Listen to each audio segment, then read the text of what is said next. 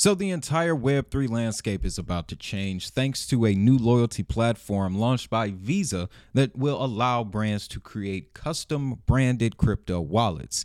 Yes, they did choose a particular blockchain platform to make this happen. We're going to break down which chain that is, but I also want to show you how this is going to open up opportunities for other assets as well that have been working on this exact same thing for years. Some of you may have seen Paul Barron's coverage on this, but I want to dive a little bit deeper. But if you happen to miss that, let's dive into the details. Visa has revealed a new Web3 loyalty engagement solution designed to meet modern consumers' evolving digital needs, offering immersive experiences like gamified rewards, augmented reality treasure hunts, and novel ways to utilize loyalty points. So, this is coming from years of NFT research that Visa has been doing. And Kathleen Gilmore, their senior VP, she actually highlighted a change in consumer behavior over the last few years, especially since 2020, that's actually opening the door for this. She states that consumers are looking to engage with brands in new ways, and traditional loyalty programs have not evolved over the past decade. Imagine earning a unique digital collectible, whether it's from purchasing tickets for a sports event or participating in an augmented reality treasure hunt. What she's indicating is it's time for a change. Funny story here. As a matter of fact, you may be familiar with Meijer's and their mPerks reward system. So somebody just got uh, He's going to be gone for a pretty long time. But he hacked the mPerks reward system, started selling phony mPerks accounts for crypto. All right. So not only is evolution needed, we need to update these systems so that this doesn't happen to people again. All right. I like mPerks, it's a very efficient system. It's messed up, man. But what we can expect from Visa's platform, let's turn our attention back to that. It's explicitly aimed at brands looking to evolve their loyalty rewards program. The platform introduces digital collectibles as a core feature, diverging from traditional point based systems like mPerks. Customers can earn, redeem, and collect these digital assets, which can be interacted with in augmented reality, located on maps, and used in various other interactive forms, enhancing the depth of the loyalty program experience. It also features the ability for brands to develop custom branded wallets with a two click registration process aimed at simplifying user engagement. Thus, we can start seeing brand affiliated Web3 wallets hitting the marketplace in the very near future. So, we're talking about a Doritos Web3 wallet, Taco Bell, um, Sam's Club, Walmart. Like it, the, the possibilities are really limitless when you look at all of the companies that are already involved in Visa's uh, network, on just on the card network here. This is going to allow again for simple registration process.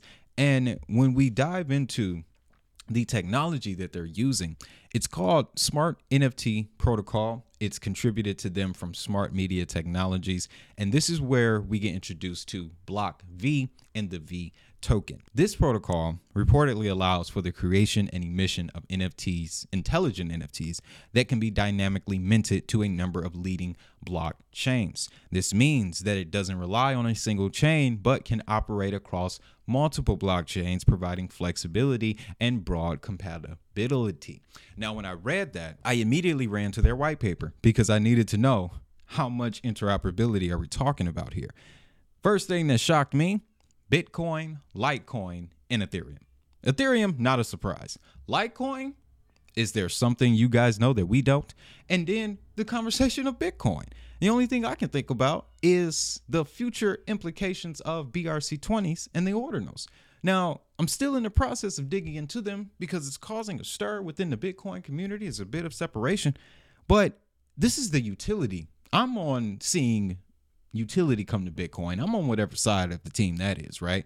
And if this protocol, and we'll, let's take a look at what it looks like on CoinMarketCap. If this protocol here has partnered with Visa and they have the ability to create fan engagement type experiences using Bitcoin technology, then we have a real game changer here. One of those hidden gems, like they say.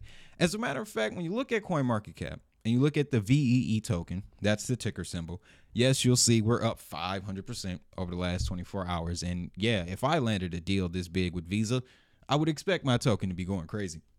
So much so that CoinMarketCap didn't even have time to record the data. So on their website, you find out $50 million market cap, 24 hour volume, we're peaking at 5 million. But the very crucial thing to remember is that the V token must be used for all projects within the system.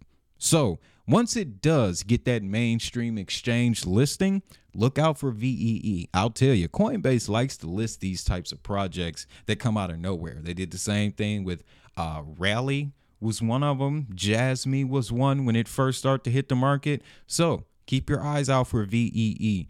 Right now, you can get it mainly on Dexes, Uniswap, Sushi, and uh, Bittrex seems to be the biggest centralized exchange that you can get the token. But everything is still in very early stages. Keep that in mind too. This is massive volatility. This 500% it just gained, it could lose it. It could lose it in a matter of a week because nobody didn't hear any follow up stories. That's why we got to look at the chains that have already been established that have been focused in this direction for a number of years. So, I got a list of Visa Web3 wallet winners that I think are going to benefit in the short to long term, uh, short to medium term, more specifically, from this new uh, product on the market. Starting with Polygon. All right. The work that they've done with Starbucks cannot go underestimated. Okay because now on top of the collections that they've already had they're launching a new one this month in south korea. But there's something they've been working on since 2022 called starbucks odyssey. Now they've opened whitelisting for this platform but this thing literally matches the description of what we just read visa is offering to all of these companies right so, Starbucks Odyssey is described as a next level opportunity for Starbucks reward members in the US that allows you to purchase digital collectible stamps, also known as NFTs, earn points, unlock new benefits, and has interactive coffee experiences. So, the AR, augmented reality, you're walking around town, there's a Starbucks shop, you pull out your phone, in front of the shop, there's a coin. You collect a coin, you go into the shop, free coffee. That's exactly how this is going to play out. Now, Another question, another thing that stood out to me do you need a crypto wallet for this? Absolutely not. As a matter of fact, you can actually get these NFTs with your credit or debit card. And I can bet you any amount of money, it's a Visa one. So, another asset we need to keep our eyes on Disney Pinnacle, their NFT platform. Now, this is new to the market. I hear it was supposed to launch last month, but they have open whitelisting. You can sign up for the account here so that way you can get early access. The setup here, though, you have licensed Disney NFTs, a one click sign up process thanks to the collaboration with the Flow blockchain. And you can also purchase NFTs with fiat. You don't need crypto. So they're coming into the market with the removing that initial barrier. And I think that's what's going to cause a cascading effect. Now, when it comes to Theta, Chiliz, and Tezos, they are definitely the older OGs in the space. But one to watch, for example, is the Theta Network, Sony NFTs, numerous NFT patents, and they have multiple partnerships with companies from the entertainment side, gaming. They've already done work with Samsung and Sony creating NFTs for their customers. So again, they've been at this for years. A lot of people sleep on Theta because it may not move as loudly as some other projects on the price chart, but they're building, guys, and they're building out products that the market is now ready for. I'm going to point this out to you. So, under ecosystem enterprise validators, one of their relationships is blockchain.com. Now, I don't know about you, but I've seen blockchain.com in many sporting venues this year more frequently than I did before. Dallas, the Cowboys, oh yeah, that's one of them. But my thinking is if they're if blockchain.com themselves is marketing in these venues, what's stopping them from creating applications using already established blockchain relationships? It would be Theta in this situation. And I can guarantee you the payment system, the processor, it's to be Visa. But Tezos and Chiliz, guys, when it comes to real OGs, yeah, like I said, these two platforms have been around for the longest. Now, when it comes to Tezos, their main focus is sports collectibles and music. As a matter of fact, I want to say in 2022, their music platform, one of, had provided swag bags and digital collectibles for the Grammys. It was very impressive. I never saw anything like that. And then after that, it was mainly sports relationships, the biggest one being Manchester United, you know. And on that note, that brings us to the last OG chain when it comes to fan engagement loyalty programs.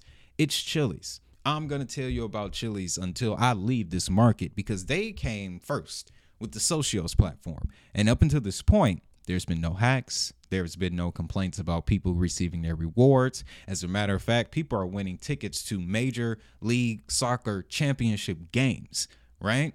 Through the platform. And Socios was one of the first to incorporate augmented reality experiences where you can go around your town or go around the sporting venue and collect different coins to unlock even more rewards. Rewards. So we're talking about free jerseys here. So you don't think a company like Nike, Adidas, uh, Reebok, Gatorade, you don't think any of these Under Armour, they don't want to do anything like that? Another advantage that Chiliz has is that now they're working with their own chain. That's going to give them a lot more flexibility. As a matter of fact, when I went to their website, I saw a disclaimer that was focused at US customers. That's new and it stands out because they wouldn't need to do that if they didn't have plans on coming to the US. They already have established relationships with NFL franchises, the Cowboys, the Eagles, the Giants. Like they've been putting in their work here. So I think that this Visa Web3 wallet that will allow brands to create these brand new loyalty experiences are going to open up the market open up opportunities for these chains specifically because this is where they've been for the last three, four years. And then something else I'm gonna layer on top of this, guys. We got the Olympics coming up.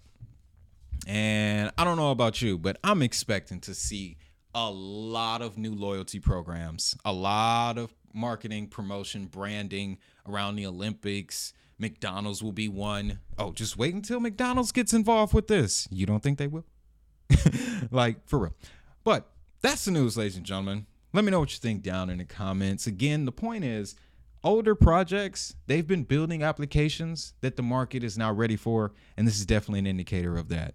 So, if you're looking to grab some crypto, I'm getting mine on Uphold right now. Make sure you check that out. Links in the description. And with that, I want you to have a great day, have a prosperous day, and always remember if the money is digital, so is the hustle.